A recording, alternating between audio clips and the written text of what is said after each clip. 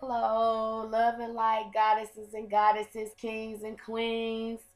Today is June uh, 13th, 2016.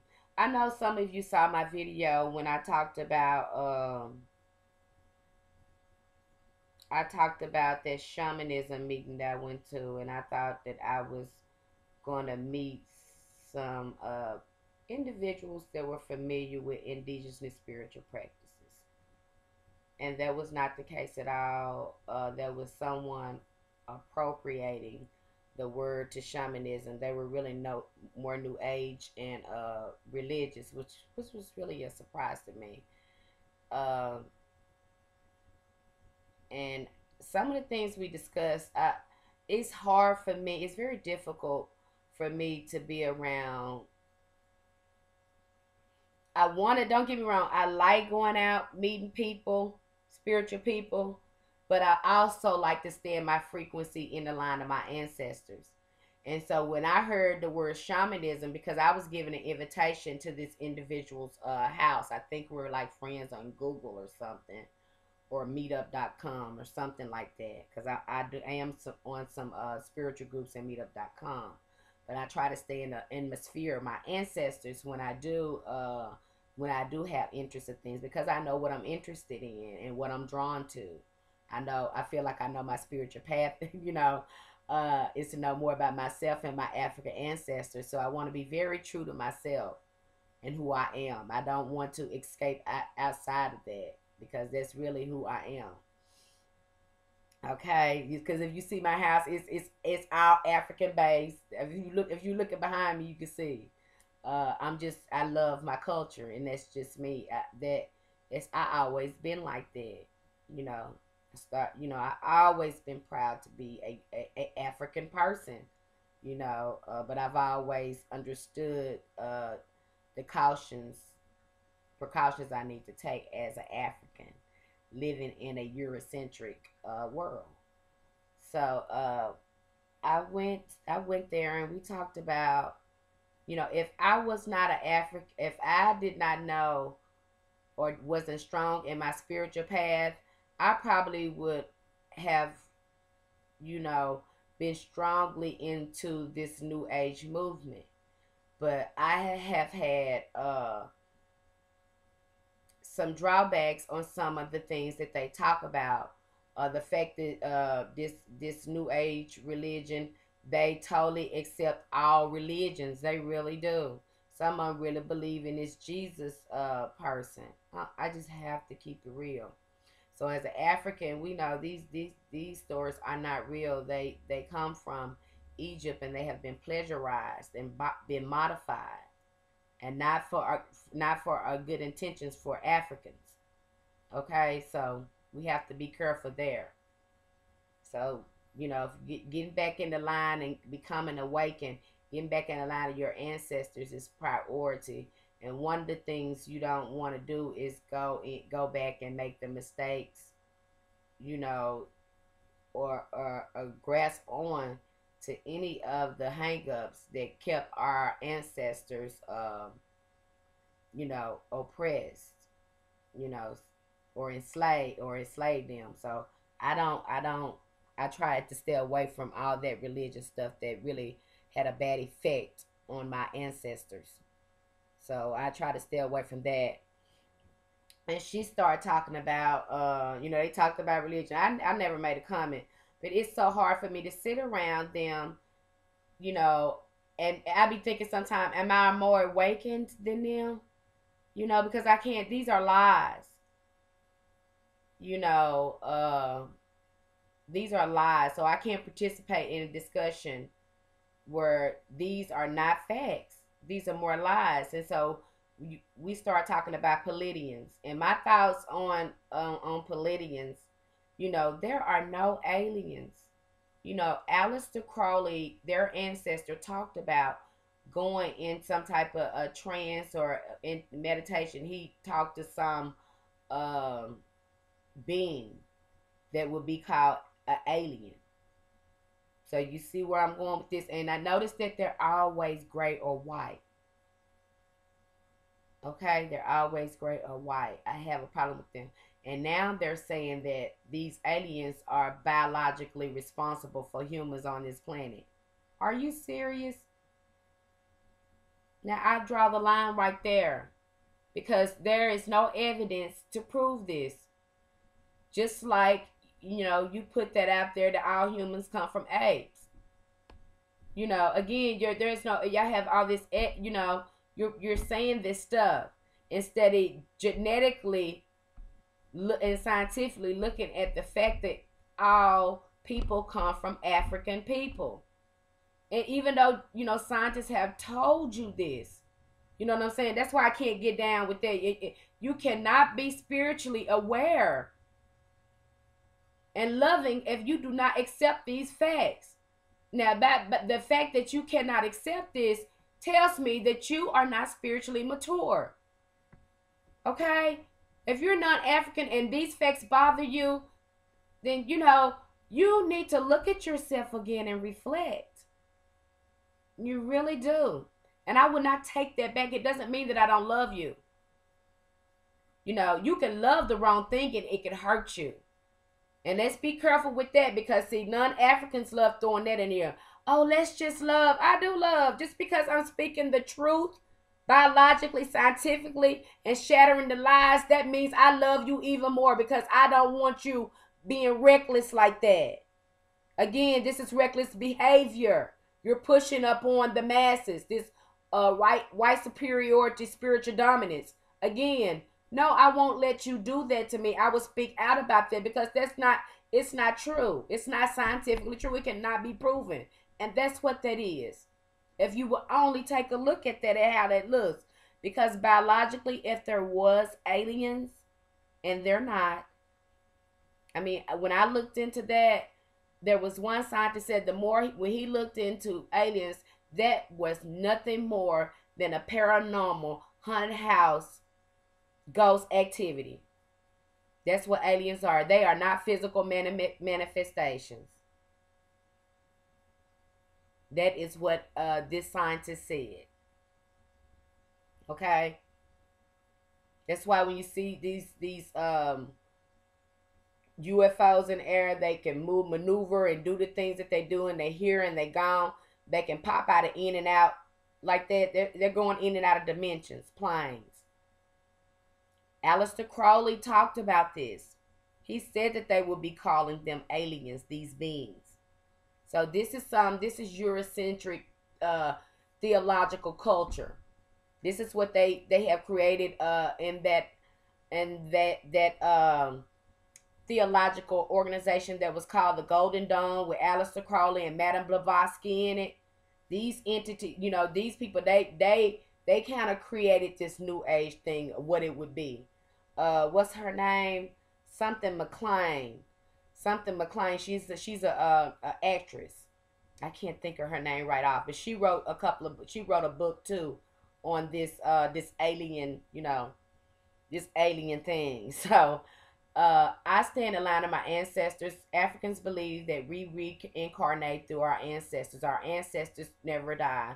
They are present within us. Scientifically, this can be proven this can be proven. See, that's why I like metaphysics. Spirituality is no type of spookism or something. It's not like that. Africans, our Africans have spirituality mapped down to a science.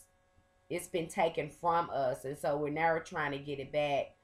Uh, we began to awaken our and our DNA is trying to send us messages through meditation. You know, um, they had it. They knew how to take the proper herbs, you know, to to go into different realms and to go on the astral planes and bring back uh healing us uh healing medicines or whatever to heal heal each other. They knew how to do that. They had this map down to a science. Look at the Egyptians. Look at some of our indigenous primitive tribes like the Dogon tribe or even that can go to start that start fact uh uh, uh non-africans the mayans they were african people too they look just like me y'all love mayan people i'm sorry i'm not trying to be mean but really These were our African people. They were dark skinned indigenous people, aboriginal people. So these people had this stuff, you know, there is no reason to they didn't ever talk about these. No, they didn't. So these are Eurocentric ideas. So Africans be very careful uh out there. And I think I'm gonna talk about this more because uh, I get such a negative response from non-Africans when I talk about this kind of stuff and the fact still remain biologically, historically, that every people on the planet has learned from African people, and I will not shut up about it. No, I won't. It needs to be said. This this lets me know y'all need we need to be spiritually healed. We really do. If we if you cannot talk about this topic without you, you know, feeling negative about it, you know, these facts, then you're not spiritually mature. You're really not. Now I've gotten past the part where your ancestors have did some very, you know, negative thing to my ancestors that I can go on because I know about my spiritual birthright. There's no need for me to be upset. Because I know who I am and I know the power that I possess within me. So there's no need for me to be negative about it. In fact, it is very healing for me to talk about that very fact, knowing the gift that I have now. You know, so I mean, I don't understand why you people get so upset about that, which leads me to believe, you know, we need to talk about that more. You know, so if you're a true healer, a light worker, you understand what I'm talking about. If you've had to hear somebody with emotional trauma, mental trauma, you understand what I'm talking about. I mean, I, I look at that when I see you guys uh, act negative to that. I see that that's your ancestors. That's the spirit of your ancestors rising up in you like that. You don't even know that. You, you cannot. Some of you cannot help but but you know react to that. You don't even see that. You don't even see where you need to heal in that area.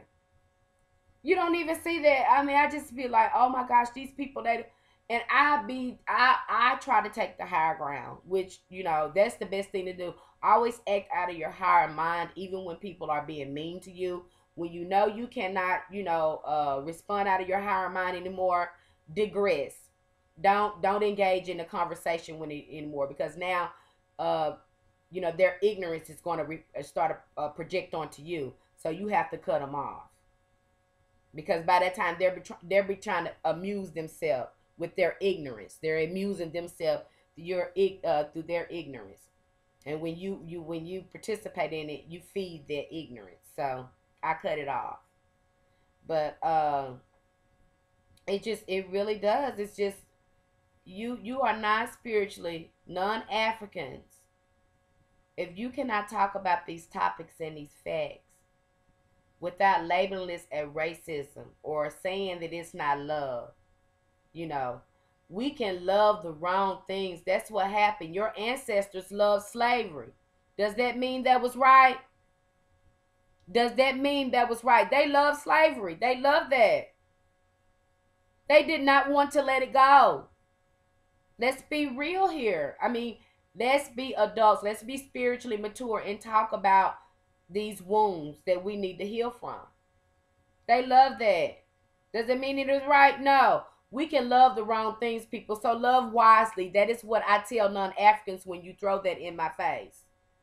It doesn't mean that I love you. I love my children, but I correct them. If you love your children, you will correct them. And that's what this is right here. So please don't don't come at me with um you know, I'm racist because I'm speaking on truth. I am the seed of my ancestors. This is what I'm supposed to do. I'm supposed to speak the truth. And if you're a light worker, that's what you're supposed to be doing as well.